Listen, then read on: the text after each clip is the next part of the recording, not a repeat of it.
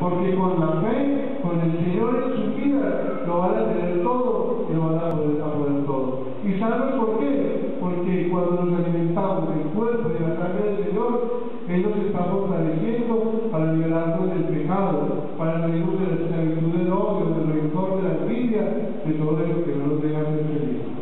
Por eso hoy es un día muy importante, porque ustedes de hoy en adelante se van a alimentar con el cuerpo y la sangre del Señor que los va a hacer sanos y fuertes, que les va a permitir salir del pecado, vivir de los hijos de Dios y ser fuertes para vencer todos los obstáculos que no les permitan acercarse a Dios. Por eso es un día tan importante, por eso es una celebración para ustedes aparte y solos, por eso sus papás y sus familiares se encargaron de regalar una cosa muy bonita. Y los catequistas, durante todo el año, quisieron Por eso venir esta mañana a tomar su primera comunión es venir a decirle, a aceptarle al Señor que quieren alimentarse de Él, que quieren vivir la fortaleza y el amor de Dios.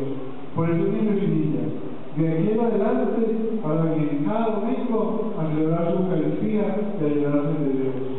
Todos los domingos hay que venir a la Eucaristía.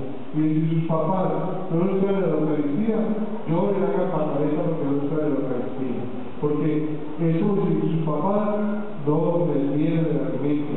Como si sus papás y su mamá no mercaran, no llevan comida a la casa para que ustedes alimentaran. Pues hay que buscar siempre a Dios cada domingo. Y sus papás, si ustedes no saben la Eucaristía, ustedes no quieren venir a la Eucaristía porque hacen jugando, pues también van a merecer un castigo, porque uno debe venir y hacer cambio en la casa. Pero les entonces para que hoy, en este día tan especial, que Dios les ha regalado a ustedes, es una oportunidad que Dios les regala para que Él, que se hizo cuerpo y para alimentarnos, va a ir a sus cuerpos, va a ir a sus vidas y los va a alimentar y los va a fortalecer. Llénense del amor de Dios.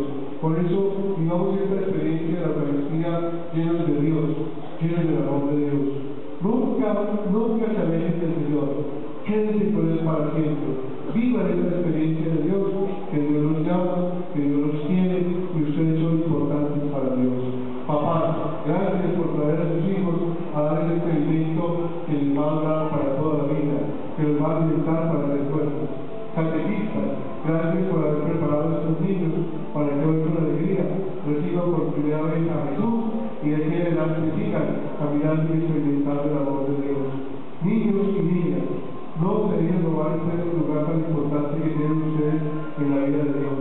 Ese les da, ese les entrega, es para ustedes, es para que lo tengan siempre, no lo pierdan, no se alejen de Dios, quédense permanentemente